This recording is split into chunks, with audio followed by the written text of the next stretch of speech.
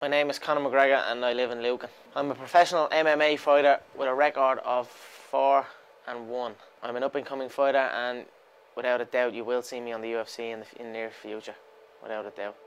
If you can see it here and you have the courage enough to speak it, it will happen. So I see these shots, I see these sequences, and I don't shy away from them. A lot of times people believe in certain things, but they keep to themselves. They don't put it out there. If you truly believe in it, if you become vocal with it, you are creating that law of attraction and it will become reality. When I was a kid, I used to always visualize stadiums and, and like even when I was playing football, I'd kick the ball against the wall and I'd, pretend I scored a goal and I'd run off and I'd be raising my hand and visualizing a arena full of fans. And that, that was something I'd done as a kid out, out on my own. I like just running around kicking the ball. So I always had these visions of something, but I just didn't know what it was. And then I suppose when I came to this, uh, these events and I started training MMA and then came to an event, I was like, okay, this is it. This is, this is what I'm gonna do. And then now I'm doing it.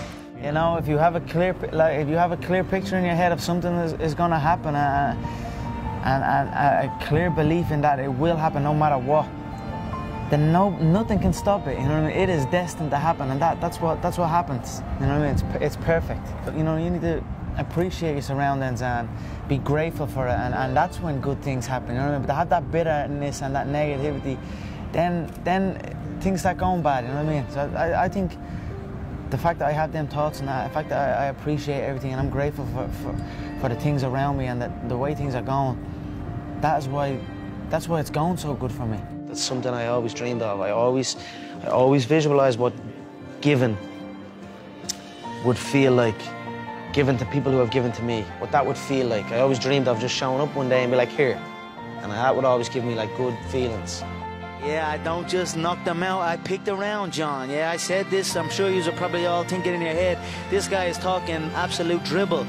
He's not going to do what he says he's going to do. You are probably all sitting there thinking that.